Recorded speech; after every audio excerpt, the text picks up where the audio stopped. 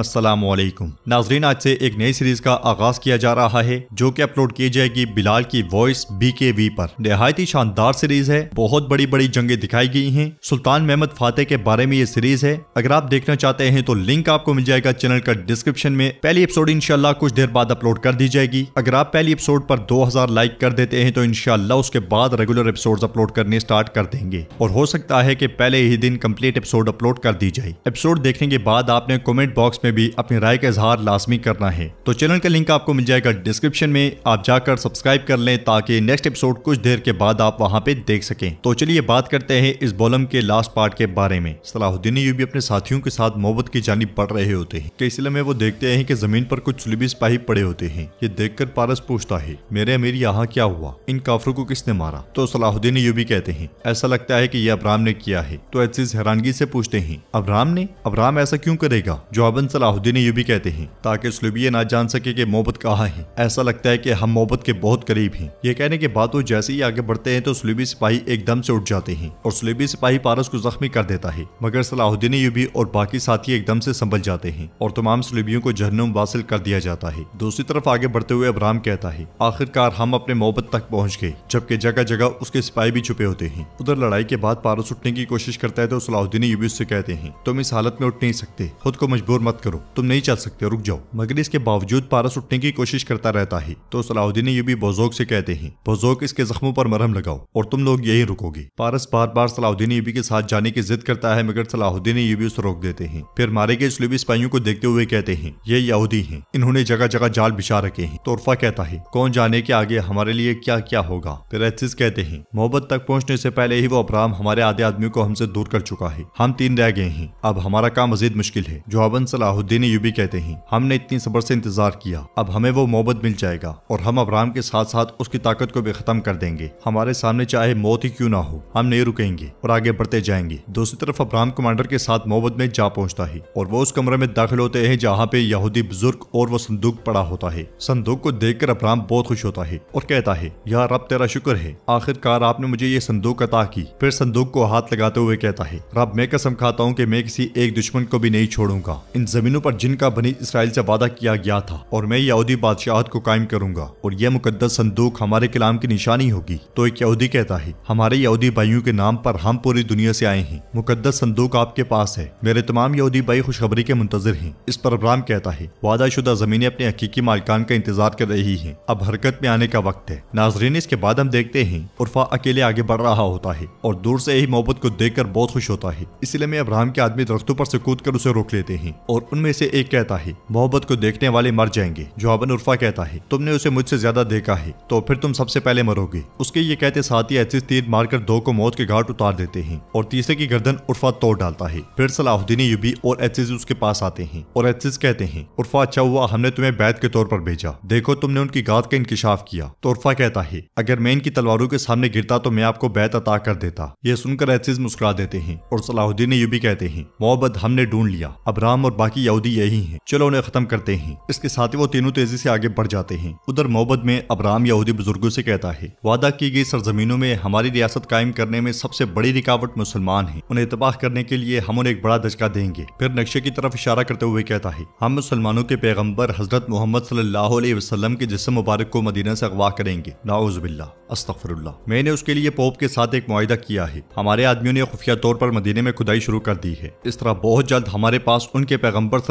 वसल्लम का जिसम मुबारक होगा। नाउजुबिल्ला नाउजुबिल्ला यहूदी बुज़ुर्ग पूछता है, हमें इससे क्या फ़ायदा होगा? जो अपन अबराम कहता है, मुसलमानों के लिए सबसे मुकदस अल्लाह, कुरान और उनके पैगंबर वसल्लम है। पैगंबर वसल्लम का जिसम मुबारक हमारे पास है, वो इस बात को कभी कबूल नहीं करेंगे और बदले में हम जो चाहेंगे, वो कबूल करेंगे। हम उनसे कहेंगे कि नील से फुर्रात तक की ज़मीन हमें दे दें। उसका मनसूबा सुनकर यहूदी बुज़ुर्ग बहुत खुश होते हैं। नाजरीन, इसके बाद हम बोरो कबीले में देखते हैं। सुल्तान मियादोद सदरान, असमत खातून और करतगन मौजूद होते हैं और सुल्तान असमत खातून की जानब देखते हुए कहते हैं, ये अच्छा है कि आपका कबीला दीगर कबाइल के साथ मियादोद की बैत करना चाहता है। आला, लेकिन अमीर सलाउद्दीन के कबीले में फसाद भरपा होगा और मैं यहाँ खराबी से छुटकारा पाने के लिए हूँ। तो करतगन खुश होते हुए कहता है, हल शुरू से ही मौजूद है। अलबत्ता थोड़ी देर होगी, कभी नहीं से देर बेहतर। जैसा कि मेरा हक था, खुदा के अलावा हमें एक दूसरे से बेहतर कोई नहीं समझ सकता। सुल्तान नूरुद्दीन, बताओ मैं आपका फैसला सुनूँगा। जवाबन सुल्तान कहते हैं, मेरा हल आप नहीं नहीं है करातेगन बल्कि असमत खातून है। यह सुनते साथ ही करातेगन का मुँह लटक जाता है, और सुल्तान मजीद कहते हैं, मैं असमत खातून से शादी करना चाहता हूँ। सुल्तान के मुँह से ये सुनकर करातेगन अलबोते और बाकी सबकी आँखें भी खुली की खुली रह जाती हैं। दूसरी तरफ़ सलाउद्दीन यूबी अपने दो साथियों के साथ मोहब्बत में दाखिल हो जाते हैं। उन्हें देखते साथ ही यहूदी सिपाही उन पर हमला कर देते हैं, मगर वो तीनों बड़ी आसानी के साथ उन सबको मार डालते हैं। फिर आगे बढ़ते हुए एक जख्मी से पूछते हैं अबराम कहा है? तो सिपाही कहता है, आपकी सारी मेहनत बेकार है, आप उन्हें तलाश नहीं कर सकते। ये सुनते साथ ही एसिस उसके गले पर तलवार रखते हुए कहते हैं, शायद मैं तुम्हें कत्ल ना करूँ, लेकिन मैं तुम्हें दर्द महसूस करवाऊँगा।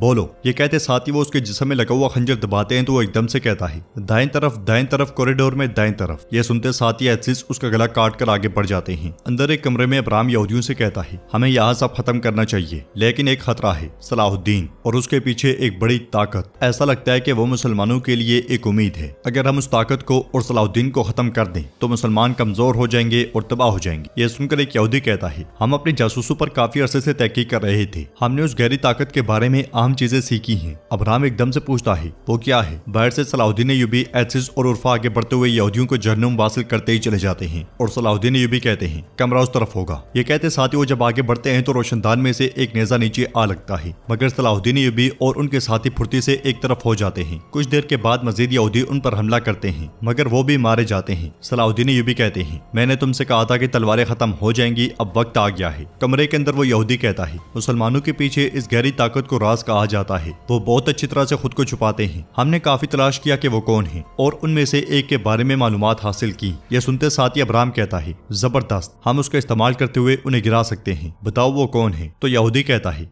वो नूरुद्दीन जंगी और सलाउद्दीन के बहुत करीब है। यह सुनकर अब्राम और कमांडर सोच में पड़ जाते हैं। तो नाजरीन, आप बताएँ कि वो शख्स कौन है? और सबसे पहले अब्राम किस शख्स तक पहुंचेगा? इसी दौरान सलाउद्दीन यूबी कमरे के बाहर पहुँच जाते हैं और कहते हैं, तुम्हें मुझसे कोई नहीं बचा सकता अब्राहम। ये कहते साथ ही वो लात मारकर कमरे में घुस जाते हैं। मगर कमरा तो खाली होता है और सब जा चुके होते हैं। ये देखकर ऐसे गुस्से से कहते हैं उन कुत्तों ने जान हमें गलत कमरा बताया। मगर जाँच पड़ताल करते हुए सलाउद्दीन यूबी एक नक्शे को काट डालते हैं, जिसके पीछे एक खुफिया दरवाज़ा होता है। उसे देखते हुए सलाउद्दीन भी कहते हैं, वो यहाँ से फरार हो गई ये कहते साथ ही वो खुफिया दरवाज़ा खोल देते हैं। उधर एक और मुकाम पर अब्राम यहूदियों से कह रहा होता है, अब यहाँ से बाहर निकलते हैं। हमारे लिए आप कीमती हैं। मोहतात रहे मैं मुकदस संदूक को लेकर चला जाऊँगा। सबके जाने के बाद वो कमांडर से कहता है, तुम अपने आदमियों को चारों तरफ़ बिखेर दो। सलाउद्दीन हमें तलाश ना कर सके। जब तक कि मैं संदूक लेकर ना चला जाऊँ। ये कहते साथ ही अब्राम आगे बढ़ जाता है। दूसरी तरफ़ यहूदी बुज़ुर्ग भाग रहे होते हैं, मगर सलाउद्दीन यूबिन तक जा पहुँचते हैं और पूछते हैं, कहाँ जा रहे हो? उन्हें देखकर यहूदियों को बहुत गुस्सा आता है, मगर हमला करने वाले यहूदी सिपाही मारे जाते हैं और सलाउद्दीन यूबी के सिपाही आगे बढ़कर यहूदियों को दबोच लेते हैं। एक यहूदी कहता है, तुम हमें मार भी दोगे, तब भी बच नहीं पाओगे सलाउद्दीन। वादाशुदा जमीनों पर एक भी मुसलमान बाकी नहीं रहेगा।